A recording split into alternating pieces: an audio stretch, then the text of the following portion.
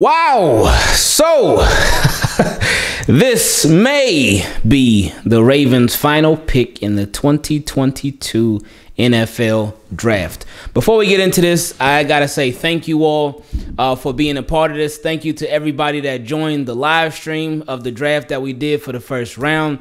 And thank you to everybody that's watched all the videos for every single pick that the Ravens have made.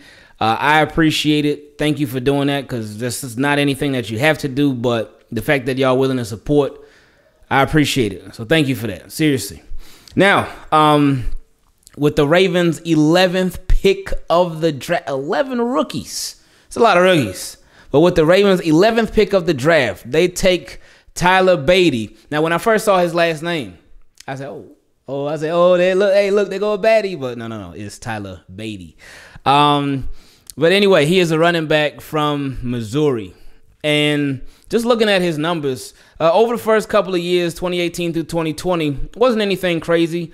Uh, he first had an average yards per carry of 4.9, 4.2, and then 5.0 uh, in those respective years. And then the touchdowns weren't anything crazy either. He had two touchdowns, then three touchdowns, then four touchdowns. So he kept increasing by one. So, hey, he kept getting better. But then it was really last year where he took off. Last year was when everything just skyrocketed. So he had the most attempts that he's had in his collegiate career, but that being 268. Uh, the most yards rushing that he's had in his collegiate career, that being 1,604. The highest average yards per carry that he's had in his collegiate career, that being six yards per carry. The most touchdowns that he's had in his collegiate career, that being 14.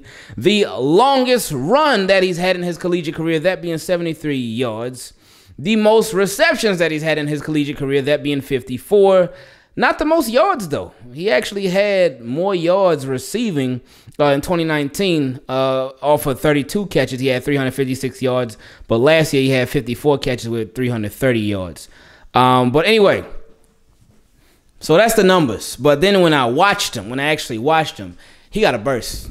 He, he, he got a real quick burst. He's it's weird because he's a patient runner, but he's a he makes quick decisions. If that even makes sense.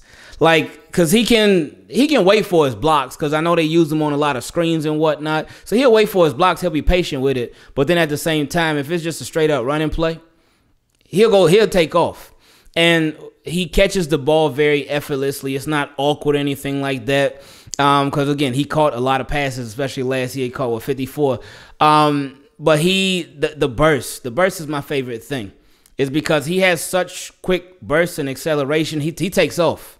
Um, now pass protection is like uh, that could definitely be improved. But he wasn't really used much as a pass protector uh, in school.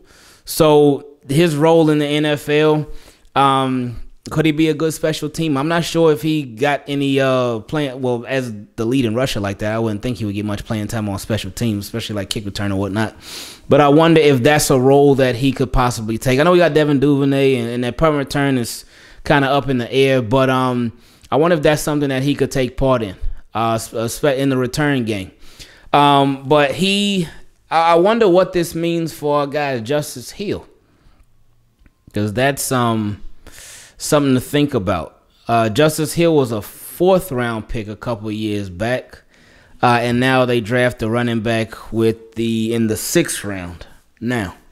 So something to think about, something to keep an eye on. Now, at the same time, we remember um, a couple years ago, a couple years ago when I just knew Raven they weren't about to keep no four running backs. No way.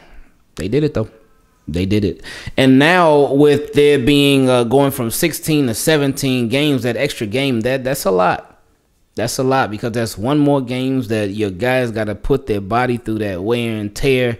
Um, and keeping another running back, that would really be staying ready so you ain't got to get ready. And you know the Ravens, they love to run the ball. They love to, and they run it like nobody else. So it seems as if, as, like a lot of people pointed out, it seems as if the way that the Ravens drafted um, and the way that the Ravens have moved this offseason, um, it seems as if they are sort of trying to go back to 2019, trying to go back to that offense, trying to be a very physical uh, offense. Uh, a lot of tight ends, like we saw. I mean, they, again, Mark Andrews, Nick Boyle, they were there already. You throw in Pat Ricard there if you want to. Then they go draft. Um, they go draft the two tight ends, one Isaiah Likely, and the other one, um, oh. There we go. Couldn't remember his name. So there's a lot of tight ends. That's a whole lot of tight ends. Then they building up the offensive line. Hopefully Ronnie Stanley's healthy. They drafted uh, Daniel Faalele. Somebody said I pronounced his last name wrong. I told him, all right, I'm gonna just call him Daniel then. Um, they also drafted Tyler Linderbaum, uh, re-signed Mekari during last during the season this past season. Um, signed Morgan Moses. Uh, so they've been doing some work there. Uh, kept Ja'Wuan James around, which I was surprised about. Um, what else? And then also the defense. They they did a lot on defense. They they drafted uh Kyle Hamilton with their first pick. Um, they drafted uh, Travis Jones as well. Then they drafted the two corners, so you figured there was going to be depth and special teams guys.